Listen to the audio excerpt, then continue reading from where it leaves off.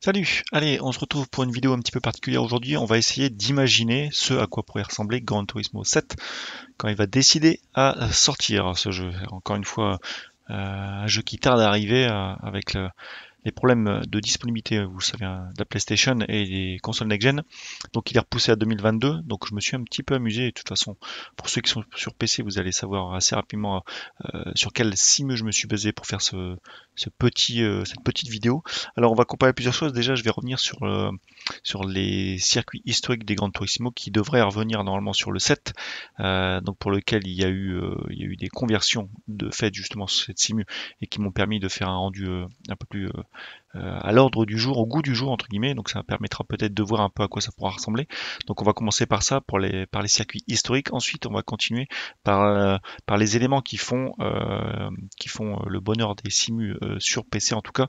Alors ça existe, hein, vous allez voir, j'ai fait le comparo un petit peu. Il y a notamment la la réalité virtuelle, donc euh, avec le PSVR 2 qui devrait sortir également l'année prochaine. Ensuite, on va avoir quoi? On va avoir la pluie, on va avoir la nuit, on va avoir euh, qu'est-ce qu'on a d'autre? Euh, je crois que c'est tout entre guillemets. ouais, donc il y a un comparo qui est fait pour voir, pour montrer ce à quoi ça va pouvoir ressembler dans Gran Turismo 7, en tout cas on l'espère. Donc vraiment, euh, c'est un jeu qui est très très attendu par, par euh, les possesseurs de, consoles, notamment de, PlayStation. J'espère vraiment que ça va être un, bon rendu avec aussi euh, la DualSense qui devrait donner pas mal d'améliorations au niveau des ressentis, notamment par, par les gâchettes. Donc j'espère vraiment que ça va être une tuerie parce que bon, il a été repoussé.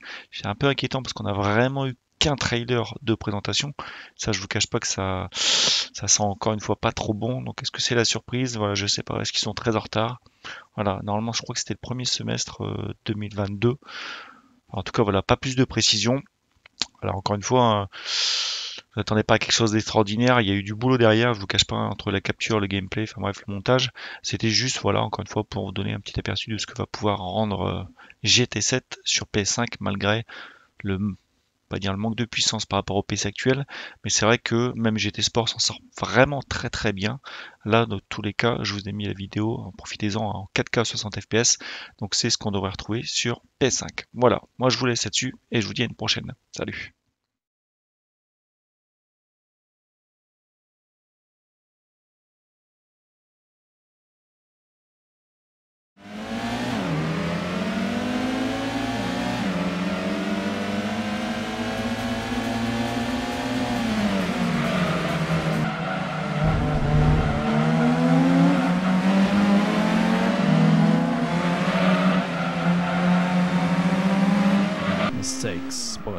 this is an easy track, also Wing Mini.